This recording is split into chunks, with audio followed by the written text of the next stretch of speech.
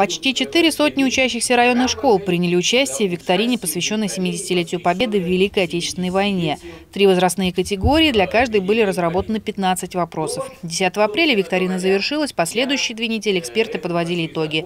И вот приятный момент награждения. Благодарственные грамоты и призы вручали в библиотеке имени Горловского. Сегодня мы наградили 9 человек, тех, которые особо отличились в этой викторине, те, кто представили э, свои творческие работы и были отмечены э, оргкомитетом и жюри. Викторина была инициирована редакцией газеты «Сергиевские ведомости», районным управлением образования и библиотекой имени Горловского. Среди награжденных воспитанники 14 и 10 школ, лицей номер 24 имени Героя Советского Союза Александра Корявина и многих других учебных заведений. Кроме победителей и призеров в основных номинациях были вручены и два диплома за оригинальное оформление работ. Были работы разные были и коллективные, и индивидуальные.